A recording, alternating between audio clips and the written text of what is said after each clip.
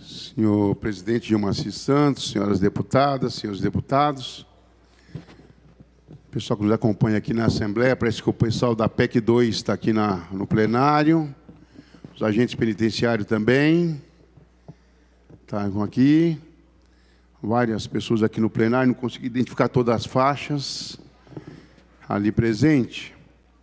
Mas para dizer, senhor presidente, que hoje nós vamos fazer aqui um debate importante ainda nesse plenário, que é o debate que está convocado para a primeira extra, que é para discutir o projeto chamado 752 do governo estadual,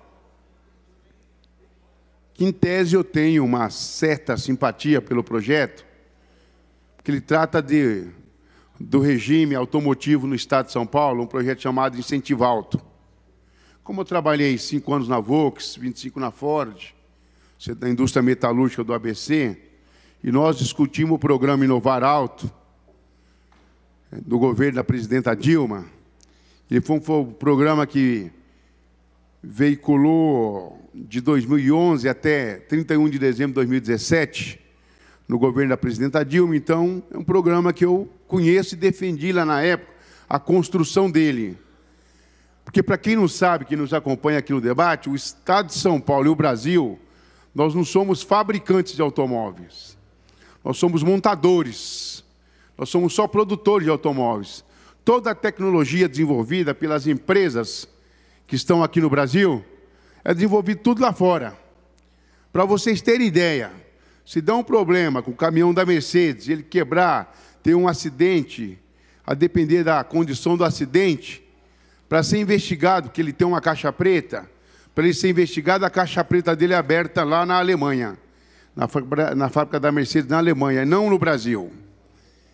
E eu estou defendendo que nesse projeto, deputado Paulo Fiorilo, deputada professora Bebel, que eu vi por aqui agora há pouco, deputada Mônica, só seus deputados, deputada Janaína, doutora Damares, deputada doutora Janaína Pascoal, é, que nós, é um momento de oportunidade para discutir P&D nesse programa, discutir pesquisa e desenvolvimento. Deputado Ricardo Melão, que está aí observando, discutir pesquisa e desenvolvimento, discutir laboratório, discutir engenharia, discutir ferramentaria, discutir traçagem da carroceria, são tudo funções técnicas, discutir inovação tecnológica, então é um momento importante discutir isso. Qual é outro grande momento importante discutir nesse projeto, que, que é um decreto do governador João Dória? É um momento importante de discutir conteúdo local. O que é discutir conteúdo local? é que, no mínimo, 60% da composição dos componentes de autopeças, eletroeletrônico, produtos, tem que ser produzido aqui no Brasil. Se não for no Brasil, no mínimo no Mercosul. Isso é para defender que nós temos que ter uma indústria nacional, uma indústria estadual e uma indústria, um parque regional, que é o Mercosul, com uma indústria muito forte.